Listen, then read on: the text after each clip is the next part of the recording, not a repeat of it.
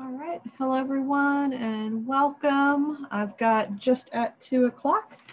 So welcome everyone today uh, to today's webinar, Energy Savings and Runtime Extension Strategies for Recovery Boilers, presented today by Dr. Jamil.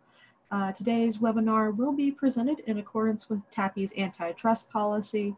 Uh, Specifically, TAPPI's aim is to promote research and education and to arrange for the collection, dissemination, and interchange of technical concepts and information and fields of interest to its members. Uh, TAPPI is not intended to and may not play any role in the competitive decisions of its members or their employers in, or in any way restrict competition among companies. Uh, specifically, that just means no discussion of pricing or competitive decisions. Oh, sorry about that. Um, see if this helps with the audio at all. Thanks for letting me know. Uh, and, okay. Sorry, just one moment. Let's see if this helps a bit. So, um, okay hopefully that helps with the audio um, going forward. Uh, you can see a couple of folks have already noticed. If you do have any questions or chat or problems, please feel free to put them in the chat box. For those unfamiliar, if you just hover your mouse below on the bottom, a ribbon will pop up. There's a Q&A feature um, with two little comment bubbles and a chat feature with a single bubble. Um, those comments will come straight to the panelists um, and TAPPI staff. Um, also, this webinar is uh, sponsored today by Clyde Industries. So thank you very much to Clyde Industries. Um, for their sponsorship of today's webinar um, and production of the content. Uh, following this webinar, uh, the recording will be posted to tappi.org and slides will also be available after the event.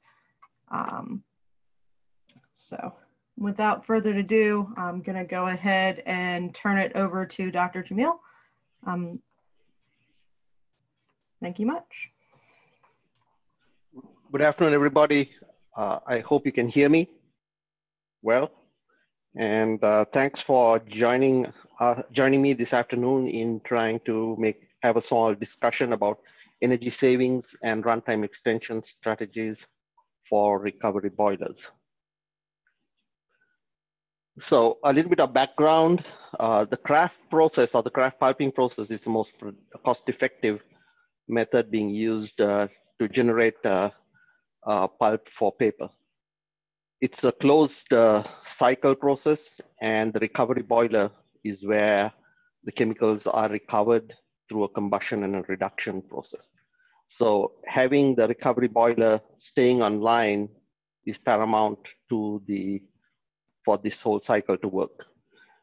If uh, one wants to look at uh, a pulp production of around a thousand tons per day, the dry solids that are generated is about one and a half times that number, which has to be sent to the, uh, to the recovery boiler to be processed.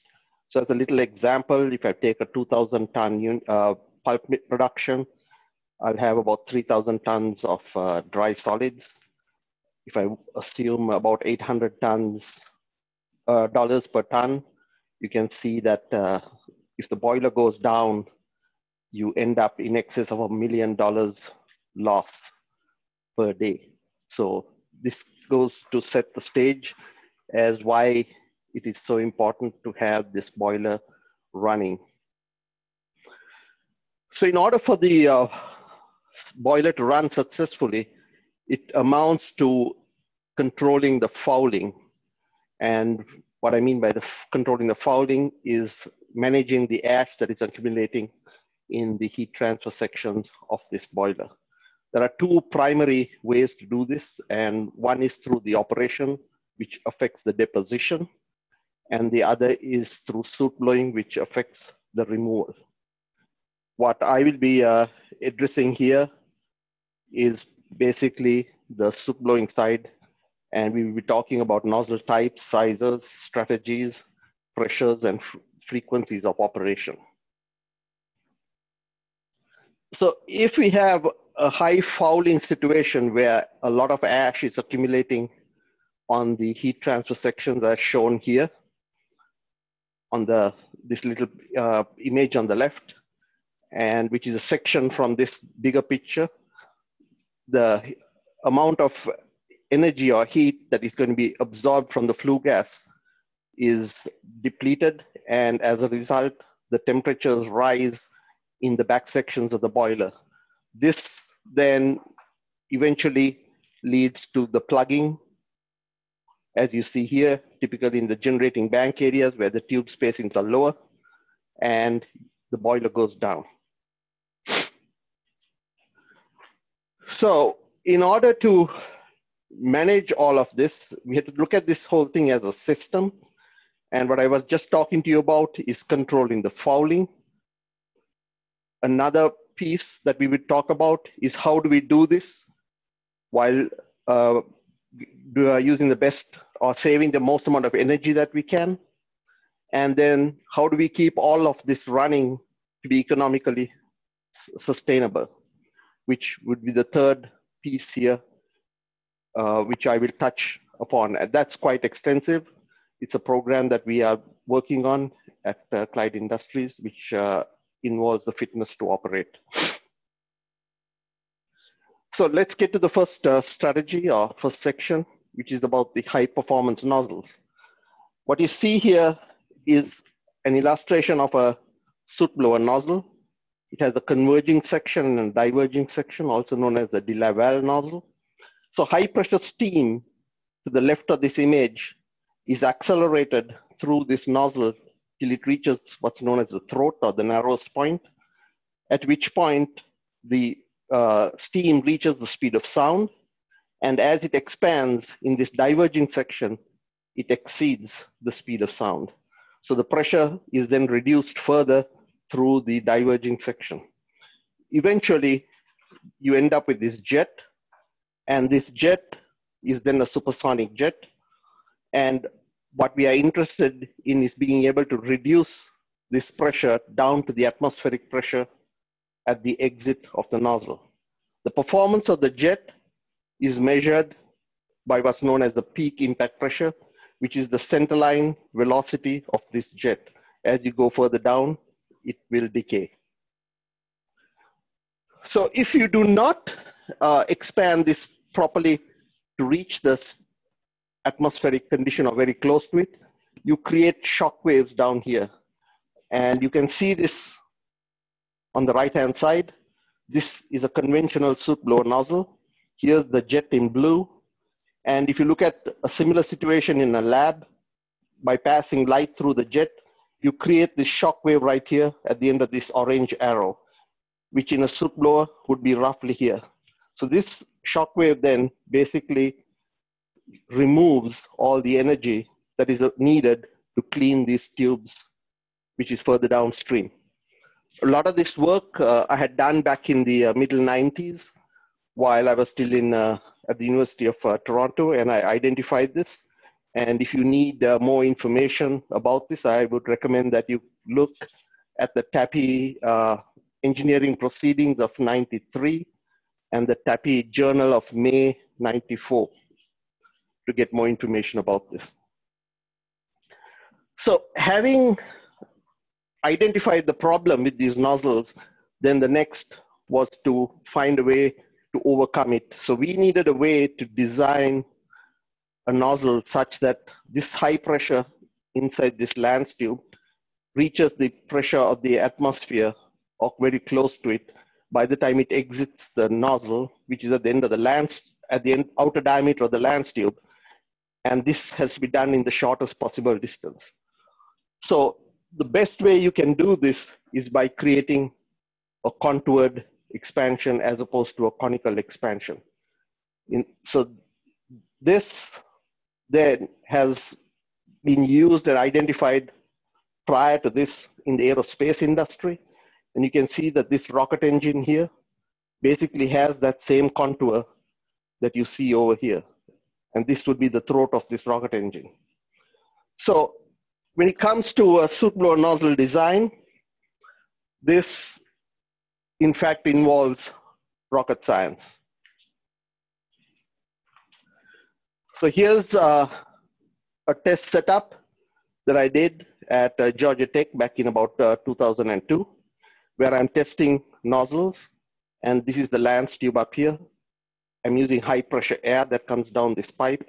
And then I'm going to be discharging it through these two nozzles. A closer look, you'll see the two nozzles here, one in blue and one identified as yellow. And these jets eventually are reaching these pitot tubes through which I'm trying to measure the peak impact pressure of the uh, jet and hence uh, evaluate the nozzle design. So when I do this, I can find that for a conventional nozzle, you would follow as you raise the pressure on this horizontal axis, you would follow this black line, which I call a V-type nozzle, and you would find that it starts to flatten out. The reason here being that shock wave that I spoke to you about. So if we can correct for that and fully expand the jet, we would end up following this reddish line, which is the average of these two, the upstream nozzle and the downstream nozzle. So this has been measured at a distance of about 30 inches. So we are comparing two nozzles of the same size. And this is the peak impact pressure. So if you, for example, you're operating at 300 PSI, you could almost double it from what it was if you were to go with a standard nozzle. And back in the nine, middle 90s, early 2000s, we did a lot of projects where we could also save steam by taking a blower that is operating here and operating it back here. So here's your first steam savings, as well as your extension of runtime by doubling your, your energy available to clean. Now, while that uh, graph showed you the V nozzle versus a fully expanded nozzle, here I'm comparing a fully expanded nozzle of one inch versus a one and a quarter. So these are now two size differences. On this axis here is distance from the nozzle, and on this axis is the impact pressure. I'm keeping the nozzle pressure in this example for, at 200. You can see that the jet is able to reach further for cleaning and at any given location, it also delivers more energy for cleaning. So there's two, you get a higher reach and you also get everywhere a higher cleaning power.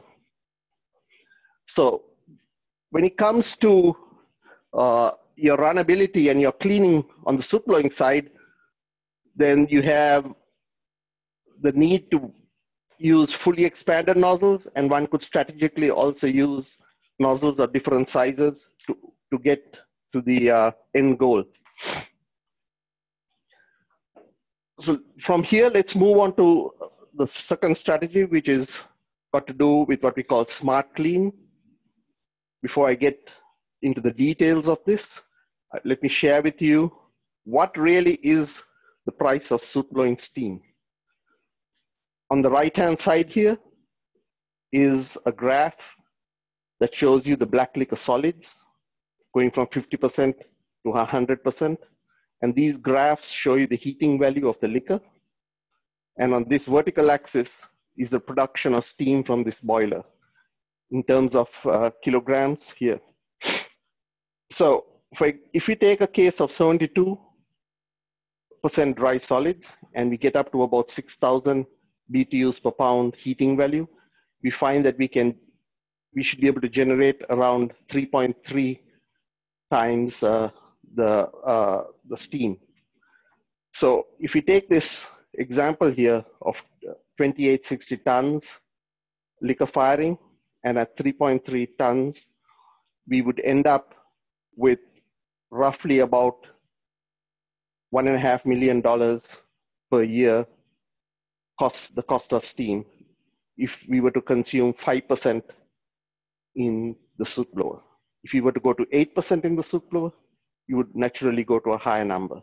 So on average, we could say then between 5 and 8% for this case, there is about a $2 million cost per annum that is associated with just the steam. This does not include the maintenance portion of the soot blowing. So having said that, then let's look at the smart clean, which is really a soot blower controlling system, which is working on a feedback based on the boiler as to, and trying to optimize your soot blowing operation. So we are trying to keep the steam consumption to as low a number to make this an, uh, an efficient operation. We have implemented this system in about 50 boilers worldwide, and it uses a dynamic control of the sequence, which normally is not dynamically controlled. You'd have a fixed sequence, and it also dynamically adjusts the cleaning power. This is done by varying the flow of steam to the soot blower. So to lay this out here, you have your smart clean system, which is a control system with a soot blowing strategy that decides when, where, and how to clean or operate these soot blowers. It's important as to the when and where because timing is a big issue when it comes to soot blowing. You don't need to wait too long before you can before you lose control of your fouling uh, control. Another feature that we have in our smart clean system is the safety aspects, which, for example, involves uh, alarming and alerting people if the soot blowers have not made them not come back or the operations are not looking right. Here's an example down here of this of a boiler tube where a soot blower had got stuck and continuously blew on this boiler tube. This happens to be in a power boiler, but eventually it punched a hole right through the right through this tube. And having something like this happen on a recovery boiler would have would be uh, a disastrous situation if there was water in that tube.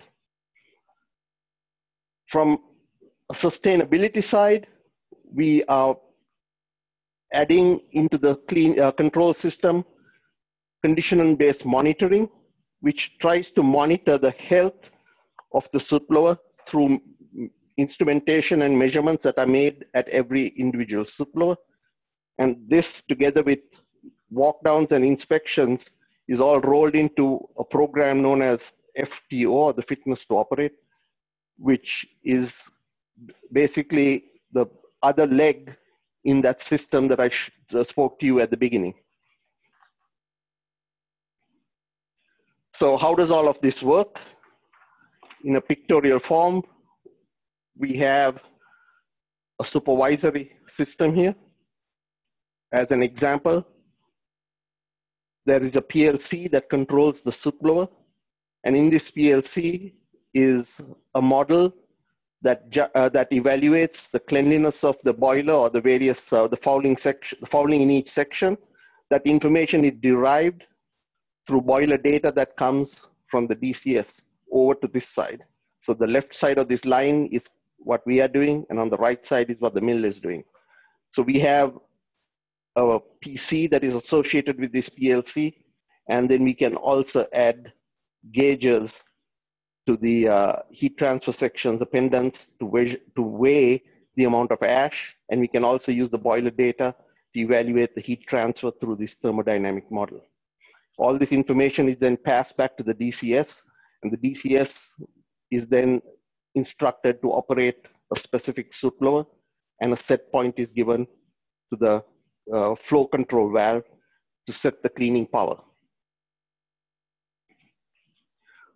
So through our experiences of doing this on over almost 50 boilers, what we have been able to do is classify various people of boil uh, blowing systems from high wastage of steam where you have where you're consuming more than about 10% of the boiler steam production to a really ideal target where you're at about 2.5% of the boiler steam production. So the goal is to try and come from up here towards the 2.5%.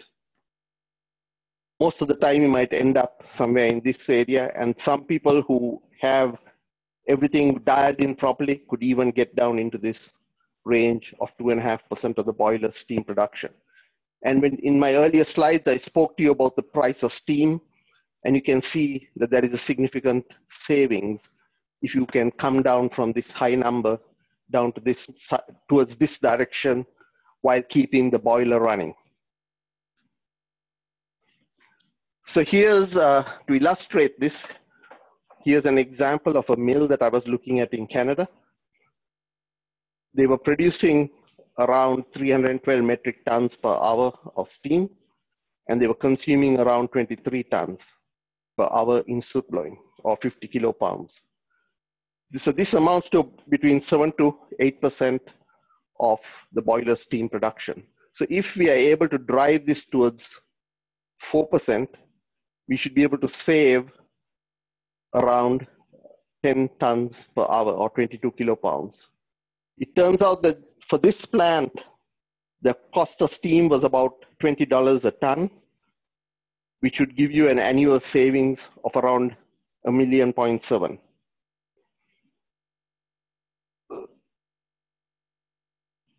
This is another example of a mill overseas that I'm looking at. They have five boilers. And if we were to go through the same exercise between their steam production and their steam for soot blowing, which is 150 and 10 in kilograms a second, and at $11 a ton per, uh, for the uh, steam, you can see that these four boilers could range in the neighborhood of a million and a half to almost two and a half million, which if one was to look at this for the whole mill would be a substantial amount of money saved through the year. They have four boilers in this plant. So how then does this system work? It monitors the fouling through the thermodynamic modeling or uses the strain gauges which weigh the ash on these various pendants and it monitors and instructs the soot blowers for this section. Through the system, we also look at timers. Certain soot blowers will have to run no matter how long there are fixed times. And we also look at process data, which has got to do like with boiler uh, draft losses and so on, as well as we could set rules that certain soot blowers can run or certain soot blowers cannot run based on specific rules that have been set. So based, all of this information then is fed into the smart clean system, which drives the soot blowers and the steam flow to those soot blowers. So if we were to take a pendant here and look at the heat absorbed in the clean and dirty condition, we come up with a ratio, what we call the cleaning factor. And then as we operate these, say these three soot blowers, one, two, and three, we can measure the impact on this cleaning fraction, uh, cleaning factor. And you can see, for example, when blower number one ran, you improved it by this amount, delta one. Blower number two ran, blower number three ran. And you can see from these three that the biggest change came when you ran blower number three. So automatically, then the system would learn that the most effective soot blower in this stack is number three, and that one would run most frequently. And if you reach your targets, it may even avoid blowing number two and number one and move on to the next blower that needs to be run. So through this process, you could automatically save steam. So here then is a setup where we have this cleanliness factor through this thermodynamic model. We can also put gauges that on the hanging rods in the penthouse area that hold the superheaters and weigh the ash and make judgments over time. So in terms of this cleanliness factor, as we get dirty, you can see the, and or foul, you can see the cleanliness coming down. And these red lines here indicate when soot blowers run. So when this cleanliness factor reached this dirty set point, we ran a soot blower and it restores it. And it decays and it restores it, this, and so on and so forth. And you can keep doing this and following each section minute by minute throughout the, uh, throughout the day. So if we were to compare these two systems of information or feedback, the gauges would help us to identify large weights in specific areas of the boiler. For example, this gauge shows you a very high rate or high number in comparison to the one on that side. Then you know that there's more ash here, but you might not be able to see it just through the heat transfer because you only have an in and out of the heat exchanger. Uh, the the uh, thermodynamic model cannot identify local uh, high accumulations of ash, but it can give you the overall picture. So together, these two then give you a good view of what's happening in your, the fouling history of your boiler. So when I take these two signals and put them together, you can see for this boiler, the blue line would be associated with the strain gauge and the pink line associated with the clean, cleanliness factor on the right hand side. And these vertical lines, these yellow and blue lines here indicate the running of a soot blower. So the smart gauge is on the left and the thermodynamic model on the right. And you can see as the uh, soot blowers ran, we end up with uh, uh, we end up with uh, the cleanliness being restored or the weight being reduced. And these follow each other. They're almost like mirror images of each other. So in order to uh, take all this information and process it, we also are able, we also provide a service where we can take all these signals back through your Pi, Pi system in your, in your mill and push it out to the cloud. And then we have a Pi historian on this side, which reaches out to the cloud, grabs all this information and passes it over to the Clyde engineers here in Atlanta. And then we can communicate with your mill engineer and your mill process engineer and be able to discuss this system and how the soot blowing is working and where the boiler is uh, in its uh, runtime history and if any corrections need to be made. Here's an example from a, an operation where we uh, in, uh, implemented this system recently. There were three boilers in this, uh, in this mill in Brazil, A, B, and C the goal here was to save steam. They wanted to save 35 tons an hour of steam between all three boilers. So it was broken into two phases. The first phase was to save 25 tons in boiler B. And the next, based on the success of that, they, were, they would award boilers A and uh, C to get the rest to make up this 35. And this is what was achieved at the end.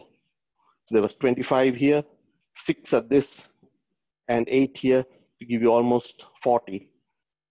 As a result of this, the mill was able to shut down or decommission a small power boiler that was being run at this plant. So you can see how the steam savings coming from the soot blower can help you to uh, do something else. For example, you had fossil fuel boilers, you could shut those down or reduce the amount of fossil fuel being consumed uh, somewhere else. So to look at how this system can work together with uh, extending your runtime, we need to pay attention to plugging, which is which happens when you lose control of fouling. So the rate at which you are removing something is now less than the rate at which it is, uh, ash is being deposited. So if you wanted to avoid plugging, then you need to at least be able to remove at a rate at which things are being deposited. So in order to do that, we've already spoken about the Fourier expansion nozzles. There are pressures and you can see how you can double your cleaning energy. We can use different sizes to get deeper reaches into the tube banks as well as increase the cleaning energy. And through the control system, we can dynamically change the sequence to follow where the fouling is and clean the power as we go along, which you cannot do on a static system where you have to go and adjust the steam pressure at each and every soot blower. So here's uh, an example of what we achieved at a plant, another plant in Brazil. It's a 3,000 ton unit running six soot blowers at a time. They were running 15 months, but every three months they had to chill and blow, basically thermally shock. And twice uh, uh, through that campaign, they had to water wash. So the challenge was to run for 15 months, chill and blow once, water wash only once. And through a, the implementation of this control system and the larger nozzles for more reach and cleaning power, we were able to eliminate the chill and blows and the water wash and run it for six, 15 months. So you can see then by a combination of the nozzles and a cleaning strategy that you can either save steam or you can try to extend your runtime. Now, let's move on to the third strategy here, which is more towards the steam savings, which, and it's called, we call it the high power, low pressure soot blower. So there is, there are two fundamental questions that we need to ask. Do we really need high enthalpy steam for soot blowing? And do we need to waste our energy using pressure regulating valves when it comes to soot blowing? So on the left here is a conventional system. You can see the boiler produces about 103 bar of steam and a PRV or pressure regulating valve is added to knock down this pressure to send it back to the soot blowers. In some older boilers, they might go straight from the boiler to the soot blower. The balanced steam is sent to a turbine, goes through two extractions, generates power you get these, the low pressure and the medium pressure. So the proposition here is rather than wasting energy by adding a PRV through which you throttle or just sending high pressure steam straight to the soot blower, can we not use these extraction points and use a lower pressure steam to do the same job and keep, uh, keep the boiler clean? let's look at an example here. In this boiler, it produced uh, steam at 50 kilopounds an hour that went to the soot blowers, and the remaining went to a turbine through two extractions to generate 21 megawatts of power. So the idea then is can we eliminate the blowing steam from the boiler send it to the turbine, you add the 50 here, and bring it over to the first extraction point, which is around 200 psi, and use that extra steam to generate more power. In this instance, you'll get about one, around two megawatts more, to bring you up to about 22 megawatts of power. So if we were to take this at $50 a megawatt hour, there could be an incremental earnings of around $850,000 per year for this system. Naturally, if you have higher pressure boilers, you can do more. So in order to do this, you're working with this lower pressure steam. So you need to minimize all your pressure drops. For this purpose, back in the uh, middle 2000s, I ended up designing a soot blowing soot blower which has a bigger valve, which is one of the places where you lose a lot of pressure in a soot blower, and a larger feed tube, which is the second place where you lose a lot of pressure in a soot blower before it is delivered to the nozzle. In order to accommodate this bigger feed tube, the lance tube needs to be bigger, so it's going up to four inches from the traditional three and a half that you see. And the nozzle size has to be increased to account for the lower pressure. So at, as a minimum, we are looking at an inch and a quarter nozzle to be able to give you the same cleaning efficiency as the high pressure system. But in this case, you're generating more power. Here's a list of places where we've implemented this system. It goes back to 2007. That's where the original design was done. It was a new recovery boiler. A sister unit was built later, and it had the same system on. And you can see that there have been cases where we've also retrofitted uh, existing boilers. There are three of them in this list uh, to be able to do this. This is one system here in India had actually both. It had the smart clean system as well as this low pressure soot blowing system. The one down here is operating almost at, at 10 bar pressure or 150 psi soot blowing. So when it comes to uh, the last piece of this, uh, it was the economic sustainability. So all of these efficiency improvements that we were talking about in terms of uh, cleaning and so on can be lost very quickly if your mechanical equipment does not work properly. So the soot blowers need to be working so that they can do what they're supposed to do and when they're supposed to do it. So what we are seeing today is with uh, the reductions in workforce, there's a lot of uh, uh, reduction in the ability for people to maintain these soot blowers. On one side, if we have preventive maintenance where you do a lot of maintenance to keep the failures low, there are high costs. And if you wait to the end till everything falls apart, there are also high costs with a lot of failures. And if a boiler goes down for whatever reason, uh, due to a soot uh, failure, then that could be even worse. So when you put all of these pieces together, there is a point at which you can be the most cost effective in terms of sustaining this entire system. And this is what this fitness to operate program is about, where we implement instrumentation into the soot blower, as well as through a monitoring process, monitor the uh, and make sure that the soot blowers are working in good condition and being able to do what they're supposed to do to give you the realizations that we spoke about before. Because at the end of the day, you can lose over a million dollars a day by the boiler going down. So having said this, let me summarize.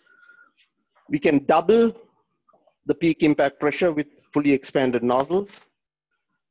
We can use feedback controls to save energy as much as 3% or reduce, bring it down to 3% of the MCR. We can also combine them with larger nozzles to eliminate or increase your runtime.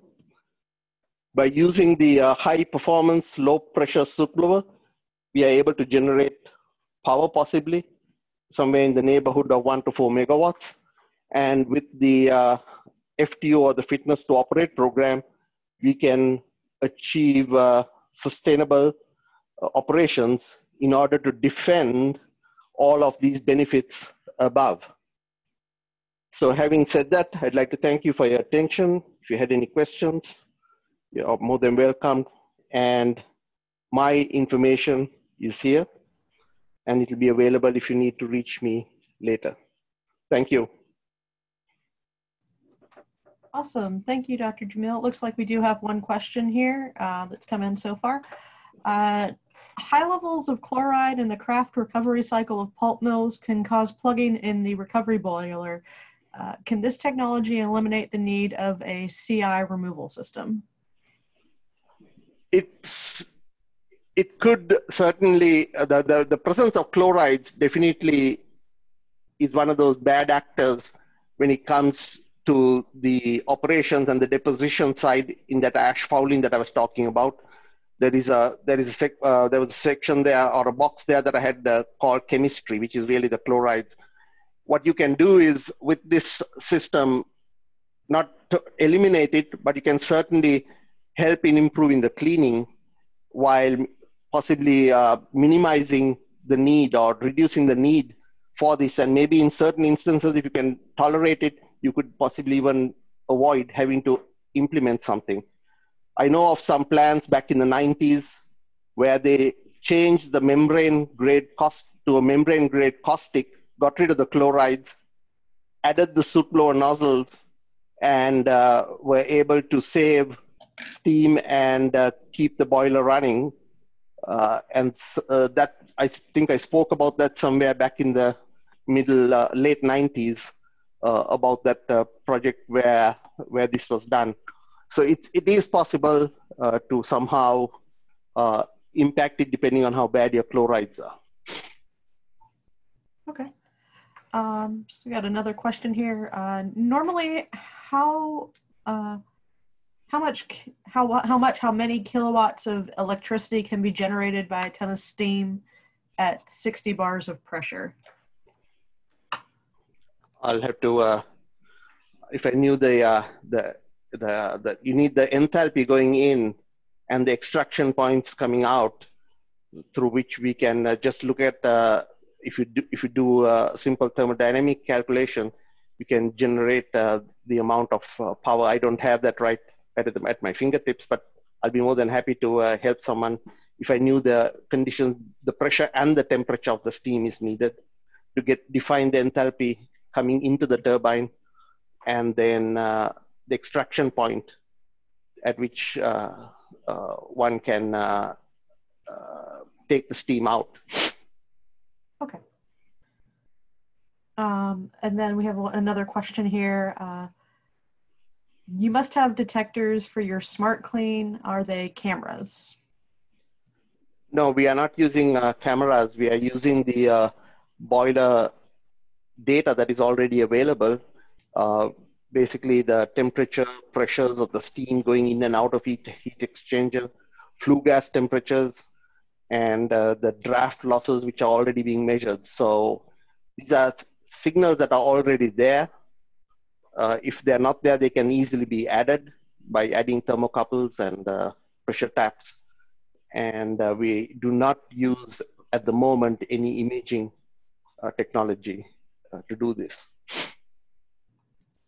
Uh, follow up to that question is do you soot blow one way or both ways?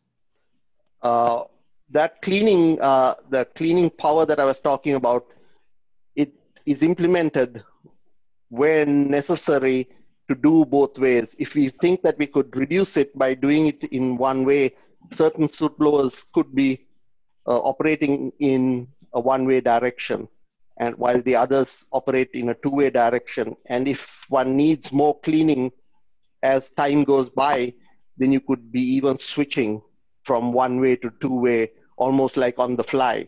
If you find that the last operation didn't work very well and you didn't get your target, you could already automatically set the set point uh, for the next time around and, uh, and also switch it from one way to two way. So it's a constant uh, a dynamic operation that's taking place 24 7. Okay. Uh, a couple more questions here as well. Um, how does the smart gauge help with detection and cleaning? Uh, basically is uh, weighing the amount of ash that is uh, that is uh, building up or accumulating on your pendants. So you have, when the boiler is clean, you zero out the gauges, and as time goes by, you'll see the weight accumulating. If you run a soot blower and it knocks it down, the weight will drop again, like I was showing on that graph, which is the opposite of, uh, of the uh, cleanliness coming through the heat absorption or the heat transfer method. Um, next question. Uh, have there been issues with companies with security, uh, security issues dealing with the cloud when implementing a project? Actually, uh, now we are sort of moving uh, in that direction where because of these, uh, uh, you're really pushing things out and you're not uh, having anyone coming through and it's through your through the OSI PI system uh, where uh, one is able to, I'm there has to be obviously some type of firewalls and so on that the uh, that the plant would have to take care of and so far we have not had any issues in fact it has been a better way than what we used to do, where we used to dial in to gather data through VPN connections. Um, next question is, uh, can we retrofit the existing soot blowers to high power, low pressure, to a high power, low pressure soot blower? They can be done, uh, like that one in India was done. Uh, when you start going to low pressure uh, soot blowers, you have some things to consider. Uh, the, the, the opening on the wall has to be uh, has to accommodate the larger lance tube. That will be one. The uh, pressure now is lower, so the steam supply side, the piping that brings the steam, has to be uh, uh, maybe increased to account for the pressure drops between the, the source point and the soot blower. So it takes, uh, it takes a bigger pipe, a supply pipe, to be able to do it. But the soot blower itself, you had to, you have to change the, uh, the feed tube, the poppet valve, and the, the lance tube, if they happen to be uh, uh, using the smaller lance tube. Awesome. Right. Not seeing any more questions come in. Um, I know we did get a couple of messages throughout. Uh, just as a reminder, we will be sending a copy of the slides uh, to all the attendees and the recording will be available on uh, tappi.org. Uh, the web address for that is uh, www.tappi.org backslash education backslash webinars. Um, that's where the webinar recording will be housed. Um, and did you have uh, anything anything else for us, Dr. Jamil? No, if anyone wanted, uh, uh, in terms of those earlier papers and things that I was talking about, there, there, there are TAPPI uh, conferences and there are TAPPI journal publications and more recently, in terms of uh, the uh, maintenance, uh, I have it's sort of still under review. There is a TAPPI tip that I have written, and it's soon as the uh, Steam and Power Committee for TAPPI approves it, then that will be published as well and should be available for people in the mills to use. Sure thing just to answer the last question we had about the slides, the slides will be uh, sent in a follow-up email to all attendees. So you'll get the PDF of those uh, along with the post-webinar survey. So, um, well, thank you again, Dr. Jamil, for an excellent webinar. And thank you again to our sponsors, Clyde Industries. Um, if you have any further questions, please uh, don't feel, don't hesitate to reach out to Dr. Jamil's contact and Thank you again to everyone for attending today's webinar. This concludes the webinar for today. Thank you. Stay healthy.